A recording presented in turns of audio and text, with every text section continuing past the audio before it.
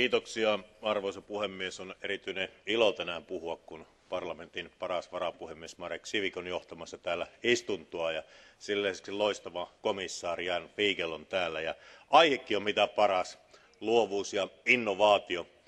Joskin aina voi kysyä, kun näistä aiheista puhutaan, mitä on luovuus, mitä on innovaatio. Monesti tuntuu siltä, että ne ovat enemmän sanoja kuin niille annetaan sisältöjä mutta jos vastaan kysymykseen mitä on luovuus niin ainakin yhden vastauksen tiedän minkä suomalainen säveltäjä sibelius hänen kerrotaan antaneen luovuus on hänen mielestään tuskaa.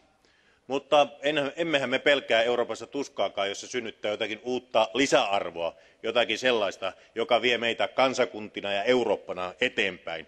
ja se kai tällä teemavuodella on keskeinen ajatus tuoda jotakin uutta lisäarvoa eurooppalaiseen todellisuuteen miten sitten luovuutta ja innovaatiota viedään eteenpäin? niin kuin arvoisa puhemies tietää teidän maahanne puolaan on nousemassa eurooppalainen teknologiainstituutti teknologia ja innovaatioinstituutti. se on varmasti yksi sellainen koordinaattori tässä joka pyrkii rohkaisemaan erilaisilla impulseilla euroopan unionin jäsenmaita luomaan uutta lisäarvoa tekemään innovaatioita.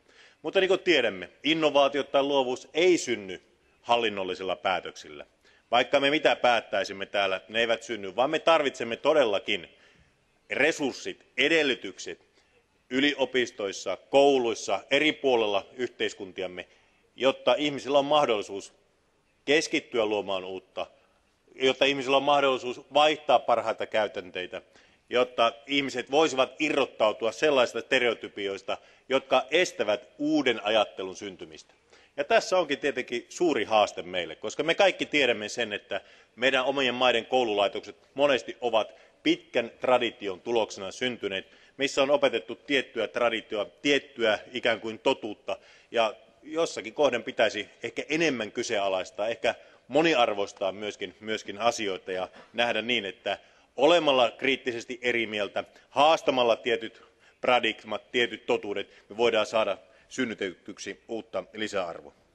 arvoisa puhemies tiedän sen että komissaari varmasti patistelee omalta puoleltaan jäsenmaita toimimaan niin että kaikki euroopan unionin jäsenvaltiot voisivat esittää kansalliset innovaatiostrategiat sen millä tavalla he elinikäisen oppimisen ohjelman kautta aivan sieltä perusasteelta yliopistoihin asti tukevat ihmisiä tukevat opiskelijoita luomaan uutta tai antavat tilaa uudelle ajattelulle tämä on tärkeää ja siinä suhteessa näen että tämä keskeinen arvo tällä teemavuodella on se että me nostamme luovuus innovaatio tämän tyyppinen uusi ajattelu niin keskustelun ytimeen ja ehkäpä sitä kautta syntyy jotakin uutta innovaatiota syntyy jotakin uutta lisäarvoa ja toisaalta että ne johtavat vielä jopa sitten tuotteistamiseen asti koska tämä talouskin on euroopan unionissa tärkeä kysymys. kiitoksia herra puhemies.